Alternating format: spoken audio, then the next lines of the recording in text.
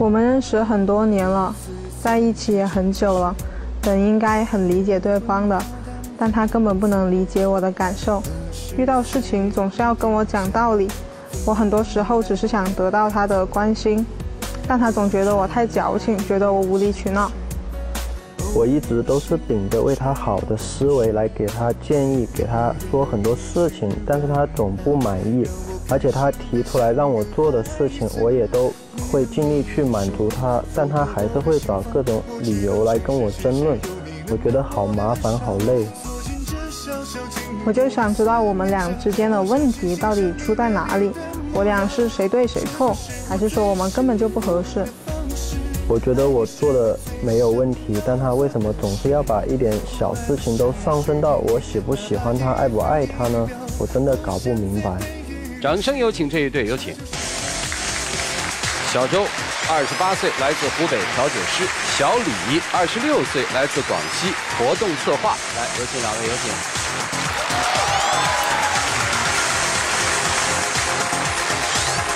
欢迎两位啊！女生在介绍的时候用了好几个多啊，认识很多年，多少年啊？认识有超过十年了，那谈恋爱谈了几年？谈恋爱五六年，哦，时间不短了，应该彼此非常非常的了解，对吧是已？经很熟啊了，。那怎么还会出现你们现在说的这些问题呢？虽然说矛盾也不是什么大的矛盾，也没有平时我看节目的那些矛盾大，但是小问题累积成山的话，下一步该怎么走呢？我现在就不知道了。行，那我们就说说这些小问题呗。啊，在生活中嘛，每个人都会遇到很多不顺心啊、委屈的事情。是那我不跟我的男朋友说，我跟谁说呢？啊，然后我就可能，说的一些事情嘛，我跟他说解决办法，他又不听。呃，你们能举个例子吗？那听着云里雾里的啊。就比如说嘛，我之前工作是住在宿舍里面的，啊然后我们宿舍就是几个女生嘛，五六个吧，其中一对的男朋友就经常来宿舍里面找她聊一下天，吃一下宵夜什么的。啊，有一次我就在洗手间里面洗澡，就是我习惯洗澡是不带长裙或者外套的，就是穿的比较少，啊就没法出来了。他们在外面聊天，我就一直在里面等着，就想等他们聊完了我再出去嘛。然后大概等了一个小时，在里面就挺郁闷的。然后出来之后就觉得有点委屈，我就跟他说嘛，如果他能安慰我一下、哄我一下，我就会很开心。然后没想到他就开始跟我讲道理，没有，我就觉得他干嘛不提醒一下外面的人呢？啊他就一点动静都没有，就在里面等着，不是他自己自找的吗？然后当时原话是这样的，他说：“你自己没有去解决这件事情，然后让自己受委屈，你不是活该吗可能说的有点严重，但是我就觉得他很活该啊。啊，行，这个事儿一听我们就听明白了。你觉得没有起到一个男友的责任是吧？？”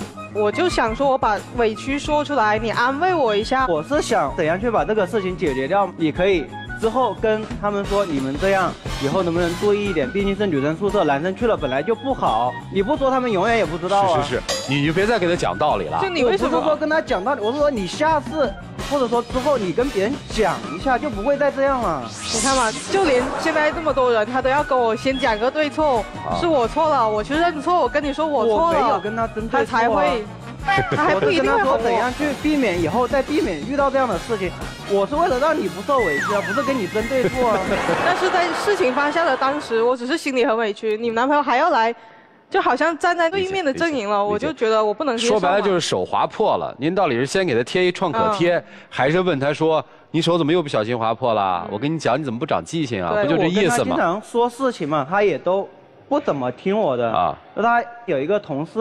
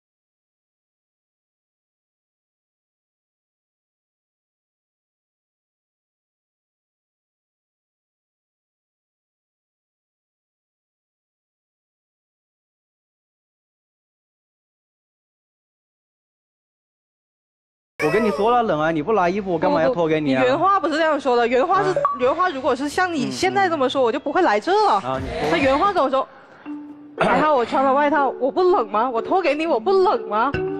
我心里面会有个小本本，我其实说我好冷啊，其实想给他加分。如果你说我把衣服脱给你，然后我心里面就会觉得哦，男朋友好好哦，然后给他加五分，对对这样子，对。现在就扣了。后来男朋友就自己感冒了，男朋友就在心里给女朋友减了五分。他还跟啊我说他干嘛要要这样计分呢？我跟你说了，拿衣服是为你好，还哎是为我自行了己好？，你就听他说嘛，你听明白什么意思了吧？下次人家再说冷，就把衣服脱下来，不就完没有啊，了我为他好了，我让你把衣服带的是不想你冷啊，不是为我自己啊。再听一遍啊！嗯我冷，嗯，不是真冷，是想让人把衣服给我，穿不穿是我的事儿，听明白了？那就是他矫情的。啊，那就矫情就矫情了呗，你听懂了没有啊？现在他不再跟你论谁矫情，他在论他的感情受了伤害，还没听明白，急死谁？你接着说，接着说啊，还有什么小事儿吗？有最简单的一主要。看他那个账本有多厚，你知道吗？最简单的，我就叫他给我递瓶水，我态度很好啊，帮我拿瓶水过来，然后他就说等一下嘛，等一下嘛，我就催他拿瓶水啊，然后我就去拿了，然后拿了过来，就是脸上就写着我不耐烦，我想喝水我自己都不会拿，但是我还是给你拿了，你应该感恩戴德，你不要给我闹哦。水也给你拿了，你还要说我？你跟我说了，我说等一下嘛，你就等一下就好了。你干嘛还催啊？快点去，快点去啊！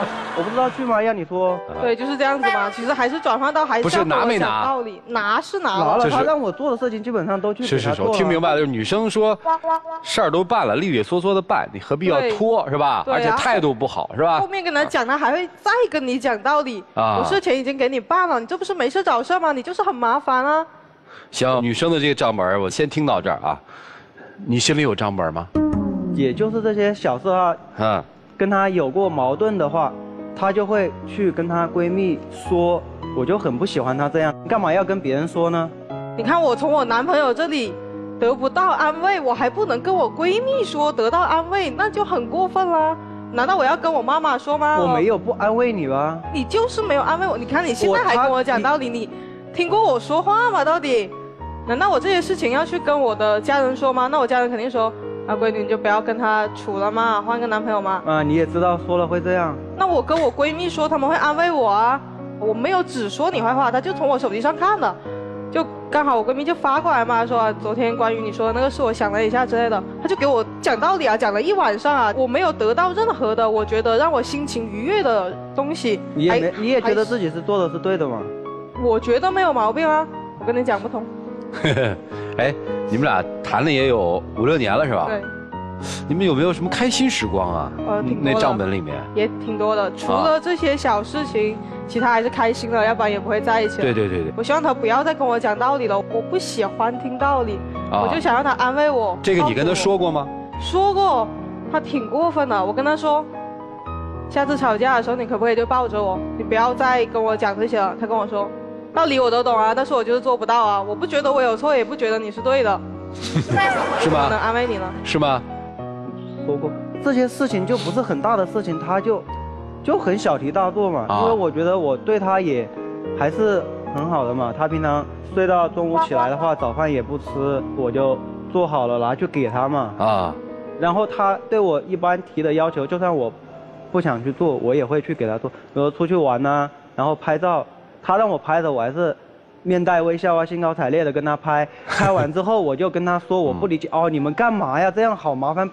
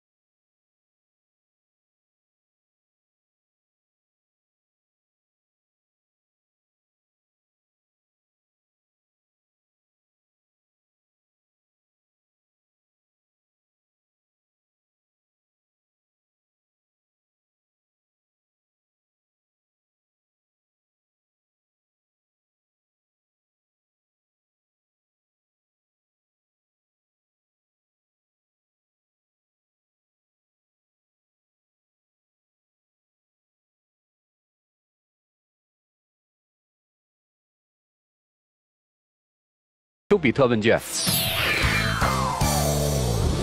小李说：“说我不要你为了我好，确实是你做的所有的事情都是为了他好，你的出发点是好的，但请你不要为了他好，请你只对他好。还有你说，你希望你给他的这些道理是为了让他避免伤害，对不对？可是你知道吗？这些伤害远不及你在感情当中带给他的伤害大。女生有的时候要的不是。”你教我怎么去做，我要的只是你安慰我，因为人生的道路上谁都会摔摔打打，你不要给我讲这个过程当中我为什么会摔倒，我应该怎样站起来，你只需要在我摔倒的时候给我一个拥抱和肩膀，告诉我有你在就可以了，这就是女生的思维，而你呢，为了讲道理，你的出发点是说为了他好，但在我们看来，就是在标榜自己的成熟。和立自己在这段感情当中的威信，这是永远都是我最大。我说的是对的，而你这个信号传达出来一个最直接的一个感受是什么？时间长了，你烦他了，因为你的这种无限制的讲道理，处处在打压他，处处在说着三个字儿：看不起。这么小的事儿，这么简单的，你就活该呀！你你让他听到的这个意思，让我听到这意思就是这样。你好烦这个女生啊！你已经没有任何的耐心听她去倾诉她心中的那些烦恼，你已经没有任何的耐心再去听她跟你说她那些委屈。你想想，你们刚刚在一起聊天的时候，你给他讲的这些道理，是用什么样的态度，是用什么样的方式？你自己好好回忆一下。接下来对女生来说，其实你自己心里也明知道，有很多事情，你就是矫情了一下，矫情的人是你，有小本儿要记他给你做的感动的事情加五分，确实这一些东西呢，就是推动我们感情往前走的这样的一个动力。但是如果你所有的事情都用这么明确的方式去记录，多了少了，多了少了。那你就是激发他对你的那种烦，所以这也是你应该反思的一个点。好，就说这么多，谢谢。其实我觉得女生挺讲道理的，其实她埋怨的不是谁对谁错，而是说她想要的东西你不懂。包括比如天气冷啊，你要给她带衣服啊，包括给她做早餐，其实你是觉得我对她好，对不对？但她其实她要的是你懂她的那颗心，包括她要的是你真正愿意。心甘情愿的去了解他，他此时的烦恼，此时的不开心到底是因为什么？比如说他躲在了卫生间的一个小时，其实很尴尬，很无助。当他第一时间想跟你联系时候，你觉得他是想说这件事儿今后应该怎么去处理吗？不是，他要的不是这个道理，他懂，他会。此时此刻他要的是说你能体会到他的感受，而你对他的态度是怎么样？这些你没有给，你不懂呀。而且你也不愿意去懂，你刚才说了很多，你说他是一个很麻烦的人，不耐烦，然后活该。他要的不是一个家长，不是一个导师，他要的是一个能够让自己在最受委屈的时候，一个倾诉的人。而这个人你不能理解他，你就做不了他男朋友。别看每件事情你都对，但他也没有错。情侣之间讲的是什么呢？如果只讲道理，道理是很冰冷。情侣之间更多应该讲的是情。感情是热，一味的讲道理只能让这份感情凉却。该讲道理时讲道理，但是该体会对方感受的时候，一定要先体会对方的感受。就这样。女生一直在掉眼泪，觉得挺委屈的哈。我说点好消息吧，其实你们两个的关系是亲密的，亲密在感情中的状态是非常可贵的。所以从大的方向来看。我认为你们两个的感情是好的。其实我倒是觉得，刚才女孩说了一句话，说我像个孩子，我们俩相处都像个孩子，这听起来是美好的。但实际上，我们可以把孩子那部分留在生活里很小的一个空间，因为我们不是孩子，我们必须要携手长大。我认为你们两个应该去规划更多的人生目标了。当我们把人生规划成一段一段的里程，我们现在要做的主要的事情是什么？我们为了这个事情去努力，也许你们就不会那么鸡毛蒜皮的盯着对方的一点点。其实那么愿意争吵是因为在意啊，真的不在意吵什么吵啊？但我们这么在意，就要找到方法，让这种在意不要变成疲惫，不要变成压力。所以我认为适合你们两个的方式应该是相对保有独立空间，还有就是制定生活的目标。我们什么时候结婚？我们的生活怎么规划？我们将来怎么对待父母？我们是不是该去做一些对未来生活具体落地的想法？这样，当你们的路清晰的时候，不会再盯着对方的鸡毛蒜皮了。调整一下方式，未来可以过得更好，好吗？谢谢。在生活当中，女人总喜欢把大道理掰成小事情，而男人总喜欢把小事情上升为大道理。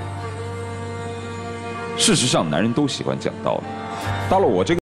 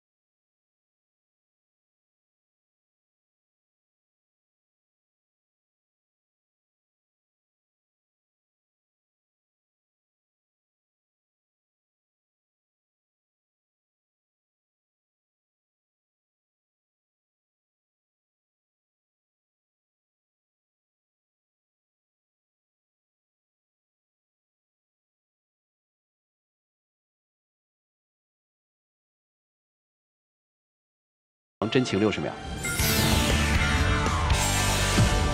我就想说，还是很喜欢你的，但是既然都来到这里了，你也听了这么多，就按着我喜欢的东西，再给多一点我喜欢的方式嘛。不要再问我为什么会做错还是怎么样，你就抱抱我就好了，要不然我就没有办法，你知道吗？我就难受多了，我就不想再难受了。道理我都懂啊，我是不希望你受到伤害，我也很喜欢你，你受到了伤害，我也会跟你一起难啊。问题就是你不做啊，道理都懂，都是就是不做，我就我也很烦做过啊，这一点，你知对不对道吗？？我也做过，你不开心，我也会陪着你生活中会给我这样的地址，然后安慰我、哄我吗？没有吧？以后你在台下如果也这么对我的话，多好呢。我不对的地方我会慢慢的改，也希望你不要太计较这些吧。学会不说话啊，男人话多，像我这样就挺招人烦的，少说得了。不讲了。啊 现在让我们一起打开君乐宝。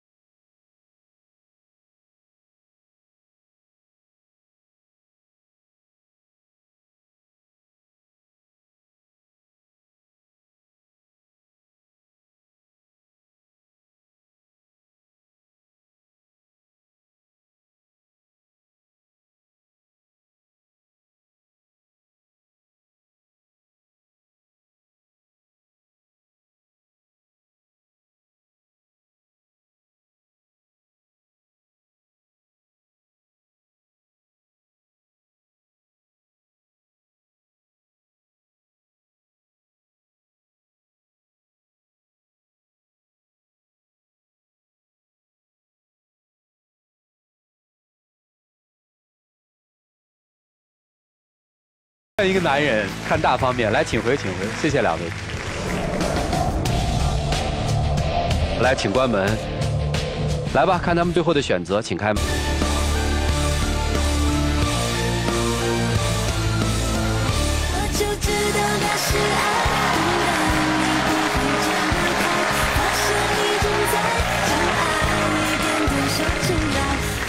哦哦哦哦，再给你一次机会娶我。来，有请我们的小花童，有请。